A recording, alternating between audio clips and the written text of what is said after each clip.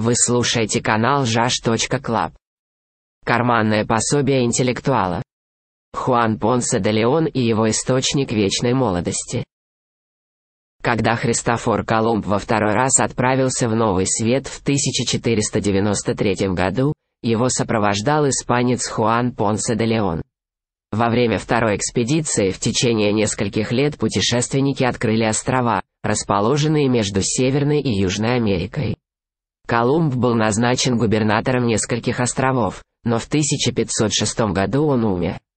Его сын Диего хотел продолжать дело отца, но оставаться губернатором земель, открытых Колумбом, ему отказали испанские власти.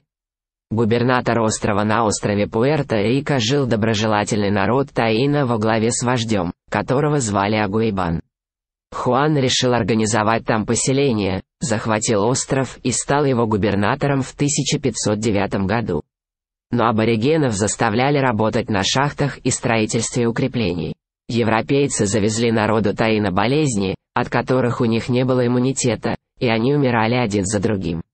Однако, Понсе де Леон на посту губернатора значительно разбогател и женился на испанке Леоноре, которая родила ему сына и двух дочерей. Тем временем в 1511 году Диего Колумб подал суд на Хуана, и его права на остров были признаны, а должность Понсе де Леона аннулирована. Понсе де Леон решил продолжать покорять новые территории, и в 1513 году поплыл на американский континент, построив три корабля за свой счет.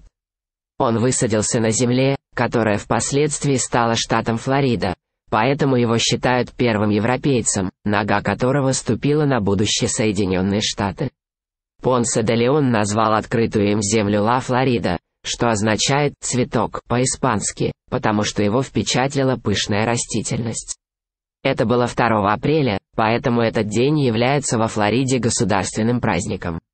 Но туда Хуан поплыл не случайно, Источник вечной молодости Понсе де Леон слышал легенду об источнике вечной молодости, который восстанавливает жизненные силы.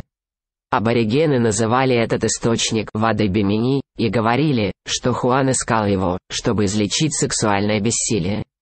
Он стал исследовать побережье Флориды, составляя карту. Но так и не найдя заветный источник, в 1514 году Хуан вернулся в Испанию за разрешением колонизации Флориды.